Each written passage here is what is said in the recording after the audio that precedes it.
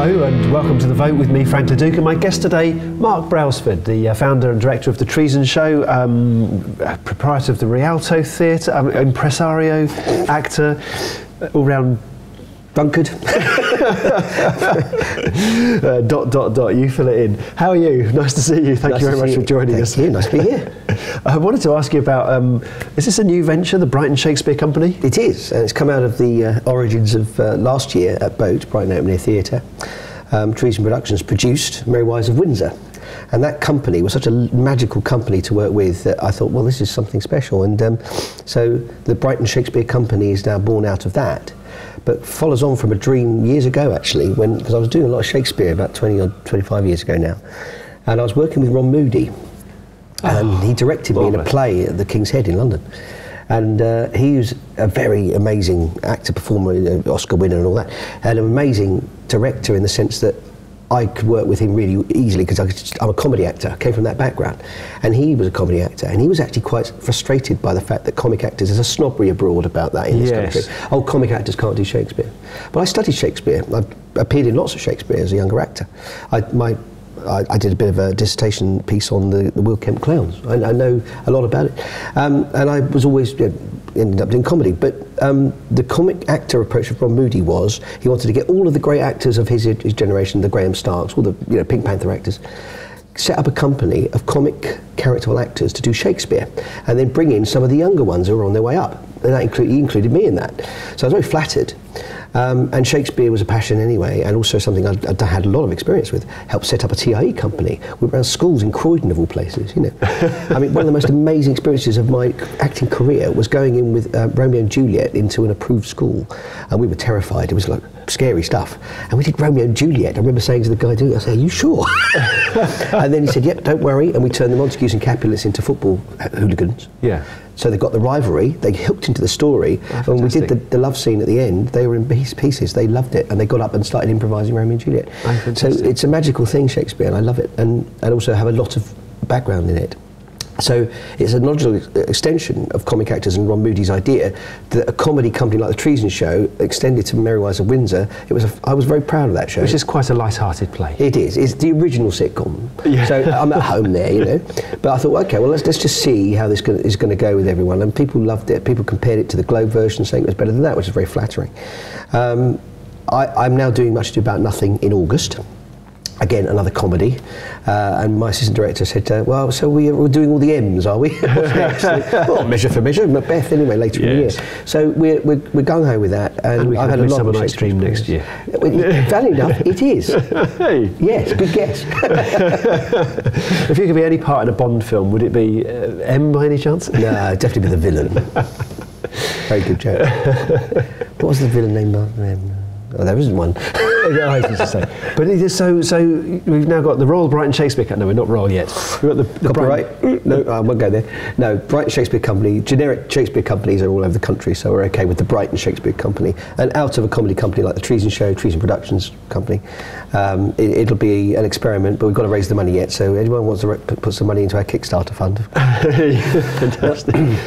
is much ado about nothing? Would you say it's a, a, a play full of gags or se- serious? It's a romantic comedy, um, and it's very much a play on the old-fashioned idea. And if you think of Shakespeare, uh, Shakespeare's Globe shows when the darkness kick, kicks in, and mistaken identity from seeing a silhouette of somebody in the dark. There's a, there's a confusion of role section where I won't give too much away, but one of the characters is, is assumed to be dead, and it's played by a servant, which fools Don Juan and, and causes all sorts of problems. But the subplot really is Benedick and his love story with a woman who's quite feisty, a very strong character.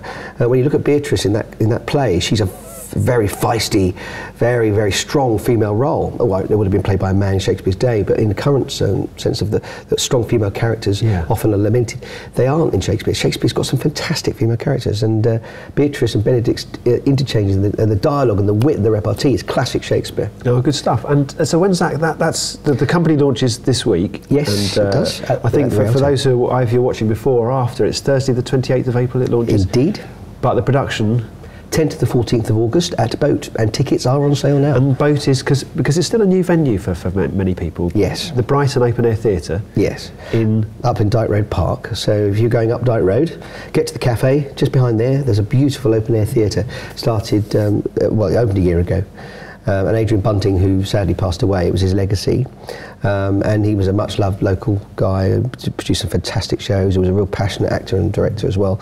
And he uh, founded this, as, it was his dream, and uh, he's left a fantastic legacy. So us being there is, is is one of those homages to Shakespeare really is dominating the idea, but it's a beautiful theatre and I'm, I love the backstory, the fact that Adrian was, um, you know, this was his bequest and, and we're celebrating Shakespeare this year, 400 years anniversary. And I'd like to say that, in, of course, middle of August, hopefully the weather will be kind. But here we are, approaching the start of May, and uh, yeah, they're I'm- saving up for August. I'm convinced. I'm praying. I mean, uh, Shakespeare and I mean, Mark, you did the Treason Show, which which lampoons politicians and politics. Shakespeare's got plenty of politics in it. I mean, it was a dangerous trade in some of the sort of the times he was writing about. Julius Caesar, they didn't just reshuffle him. I mean, they didn't vote in a new Caesar. They reshuffled his organs. Um, Henry VIII, he didn't not, not much good being a minister under him if you fell foul. And you know, Think about. Yeah, their cuts were more savage. They're usually with a knife. I mean, but some of the characters do have a modern resonance, don't they? I mean, I, I, I always think of sort of Richard II, the, the, the weak leader, and the pressures around him, and, uh, and you know, being Well, also the, all of the um, the connivance of the court Yes. storylines, all of the, the Machiavellian Iago politics are and, exactly, and these are all uh, the meat and drink of a great Shakespearean plot. You take Macbeth, for example, you've got an incredible backstory of this woman driving this man into doing these terrible deeds. And it's still a modern template for so many great dramas. House of Cards, recently, if anyone's watched House of Yeah. Cards, the Kevin Spacey and Robin Wright version of it, and the original too, this was an amazing, especially the American version. Yeah. It is Macbeth. I mean, but there are people though who thought that um, you know Hillary Clinton had a, had, a, sh- had shades of M- Mrs. Macbeth, M, uh, yeah. yep, and, and or Cherie Blair in our country, but Yes. or was Gordon Brown Macbeth that, that sort of ambitious Cathedral Scottish who had to depose the. Uh, Is this the dagger I see before me before I stick it in Tony Blair? oh, and we have today politicians getting caught out with their love lives, and, um, and yet we had uh, was it Mark Antony um, uh, what, forced forced from office, I think we could say um, euphemistically. like, uh, like scandal, perhaps. With Cleopatra, indeed, and it's I mean, so it's, it's it's like what goes around comes around, and Shakespeare just seemed to capture all of this, and uh, There's a lot of that in Elizabethan England. There wasn't much medical care. Yeah, um, it was obviously yeah free for time. but you remember, think of of Shakespeare as a propagandist in that, that Yes. sense. Under Elizabeth I, of course, a lot of the certainly the Tudor-based stuff is, is very much a propaganda exercise. So Richard III, Yeah. you look at the, the really dark portrayal of Richard III in the play. Yeah. He was a very very uh, broad brush. Dark version of actually what turned out to be, as we recently discovered through the body discovery list, people saying, well, actually, he was a pretty good king, but only in retrospect. But at the time, he, well, Shakespeare would have been in deep trouble if he'd made Richard III an affectionate character. yeah, well, yes, But we love him because he's a dark monster. Yeah. But that wooing scene over the casket with Anne, I mean, this man woos a widow over the coffin of her dead husband, and the the lines in that are incredible. But it was interesting that just this past weekend seeing uh, was it Prince Charles um, reciting lines from Hamlet, the sort of uh, Yes. the, the, the frustrated prince. Well, I'll give him that. He's probably identifying with it a lot, isn't he? and the death of one's father. Why isn't it one's mother? Mm. so he's probably got a lot of identification with Shakespeare. Do you have a favourite play? Yeah, Merchant of Venice is my favourite. Uh, I played Lancelot Gobbo in it uh, in London, in, at Hampstead, uh, years years ago, and that's one of my favourite things ever I've ever done. And um, and I, after that, I, I consequently got cast as Tranio in uh, Taming the Shrew on a tour up north as well. Okay. So uh, I had a massive burst of Shakespeare work, and, and I loved it. But uh, comedy dragged me back, and satire, my politics drew me to satire again. So I went back to that. Did you get your pound of flesh when you were in Merchant of Venice? I didn't, but my boss did. and you, um, favourite character? Yes, you see, I, I, I, have always, I've got two or three if I'm honest, actually. And it's always tricky to say. I still think Henry V is my favourite because of the speeches. The, Like Chris Hughton at half time at Falmer. Exactly, rouse the troops, wall Yeah. up with the Cardiff dead, yes. um, but yeah, I think um, if you're looking at the Brexit campaign is probably liking because it's all very, very, you know, England, St George, and so Christmas Day and all Yeah, that, you know, but a little bit nationalistic in that sense. But the, the story of the backstory of Agincourt is an incredible historical fact. So it's one of the historically based facts from plays that he wrote, and and as a piece of propaganda, which is why Olivier, of course, hmm. did the film in the Second World War, and it, it Yeah. is an amazing, rousing English story. So Henry V, and I think the speeches are great. There's an unknown, there's a very little known speech in there when the Dauphin comes to meet the young Henry after after he was a Playboy prince, of course, you know, Yeah. and then he assumes, the throne and he becomes this great king, um, which is a lovely story is, in itself. And, it- and the story of the Dauphin from France calling his bluff and sending the tennis balls, it's one of my favourite speeches I've ever done. A Russian princess complimented me on my Shakespeare at that time. I was very, very flattered. No, no one's ever complimented me on mine. I'm sorry to say, but um, well, I, I, okay. Well, I- after after the break, I would like to talk about the, the Fringe and the festival. Now, I've been to see the Treason Show, and I've definitely heard you lampooning these, but actually, yeah, I, I think you've been sort of um, embraced by the fold of the uh, of Brighton's finest arts um, sort of setups. But, but, but, but maybe come to that in a minute. Okay. Um, and, I, and I've got a few other things I want to ask you about. Who, who, who you like to send up? Because obviously these are Shakespeare's characters, but we've got some real characters who are a lot more fun. Um, Well, Boris. for your treason audience. Oh, how do you lampoon Boris? He does it himself, surely. Well, exactly. We're writers' meetings. We're going. Oh, how do you out satirise the out satirised? well, we'll come to that in just a few moments. Don't go away. And please uh, join us again after the ads.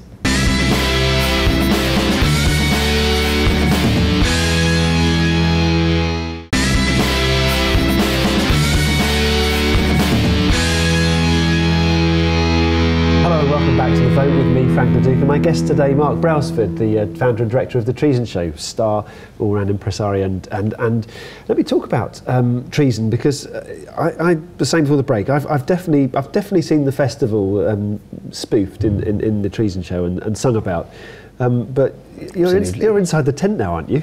Fess yeah, up. but I am. Yes, I love it. I think the Fringe is great, but also it's very capable of having having jokes told about itself. And uh, the the Fringe director, uh, managing director Julian Caddy, has seen us do the uh, the Fringe Rhapsody. At one point, asked us to do the closing show. Unfortunately, the actors were unavailable. So, and that was a complete rip of, of everything that was going on at the Fringe. And uh, so it was a.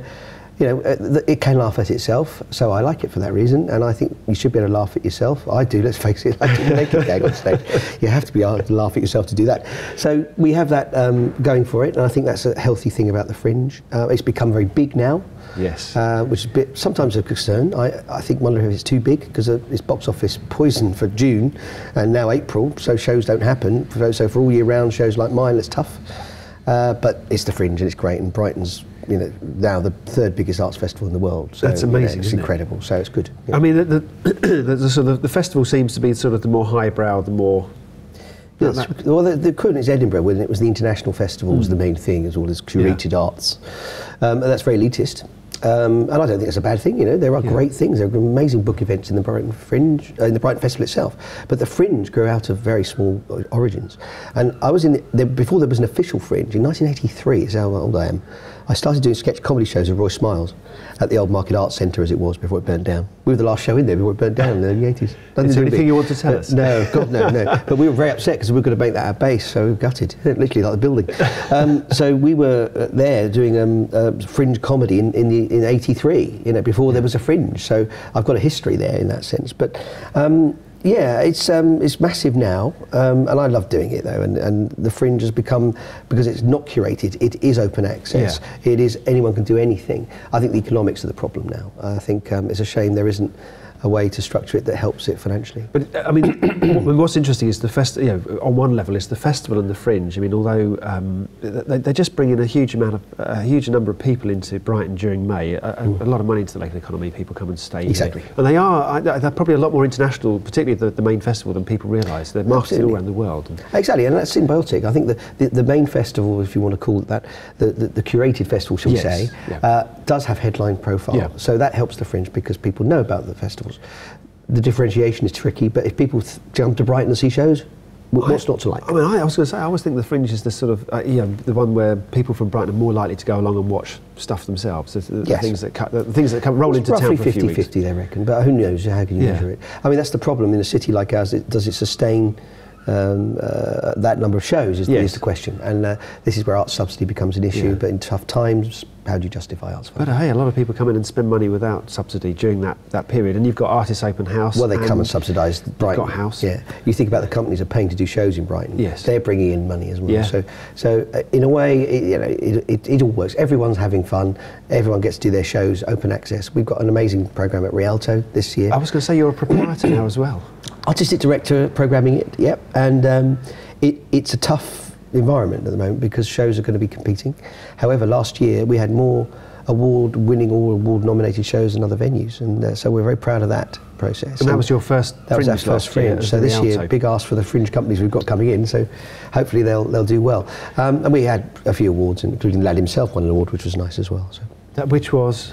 Uh, me playing Tony Hancock, um, and that, that was very lovely to get that award because um, you, you do get the feeling that comedy can be overlooked a lot of these in these environments, and um, but that's play. It was a play, so of course that helps. But it's theatre, theatre love, you know, yes, theatre.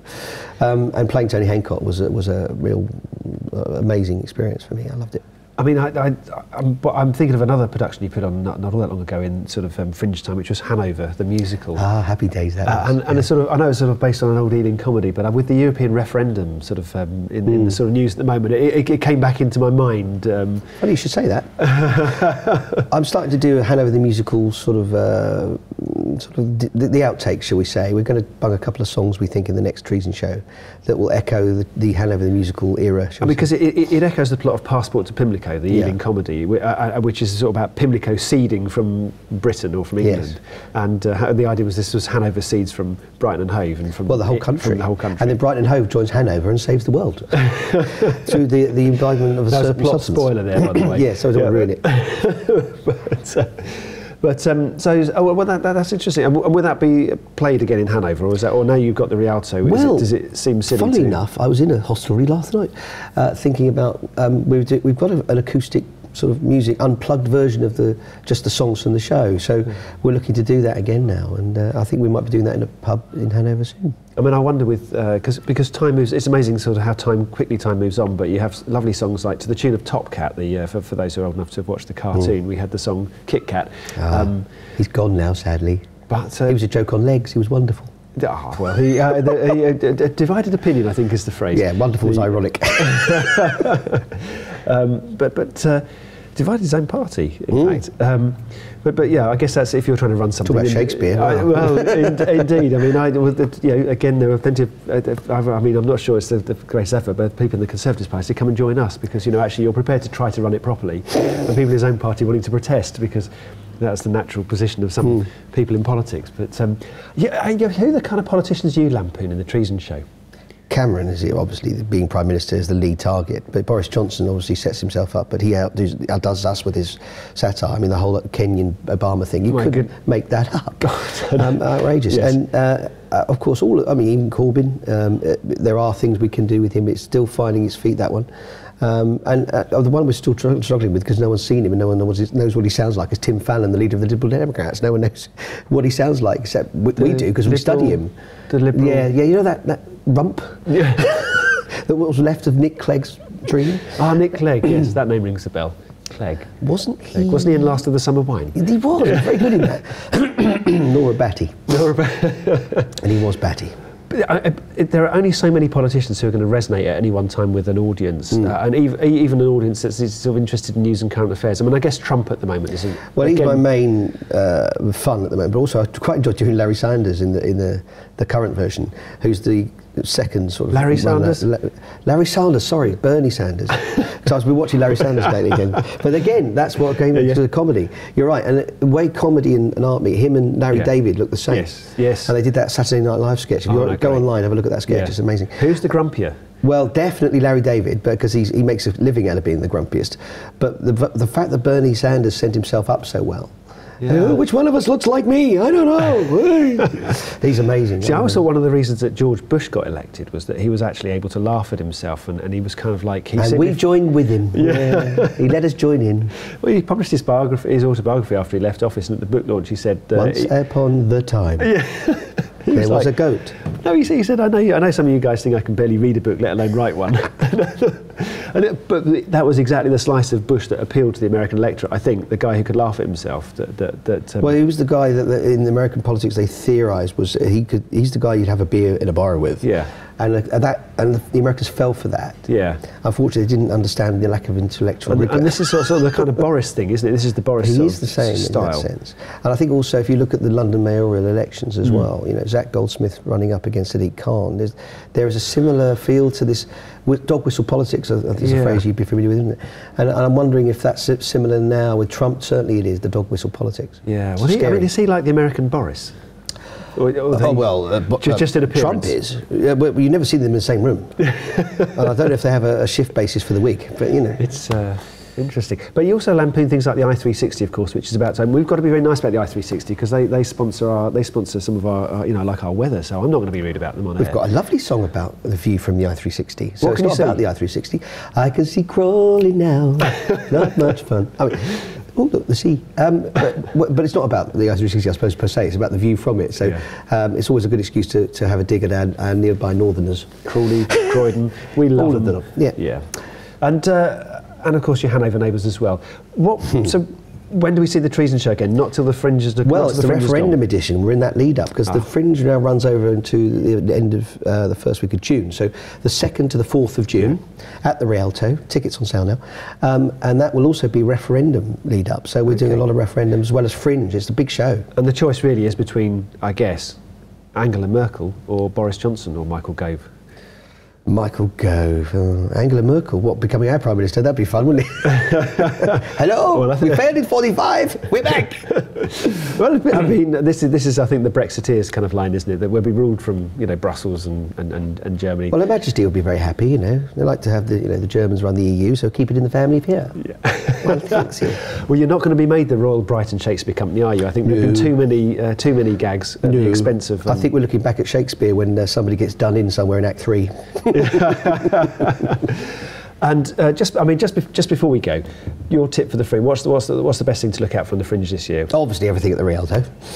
You're biased. Uh, I'm not biased at all. Yeah, but I am. I mean, there's some amazing stuff, and there's some great venues in Brighton. So um, if you get a chance, just just basically look at the brochures, get the brochures from all the venues, and Yep. you'll find something you'll like. All the venue, I mean, everything from Emporium, uh, uh, Old Market, uh, certainly, obviously the Rialto. All of them have got some great shows on. So please come and support as many shows as you can. Well, I hope it's a great fringe, great festival, Thank and uh, look forward to the next Treason Show. Mark, thanks ever so much for joining us. Pleasure. Watch again soon. Goodbye.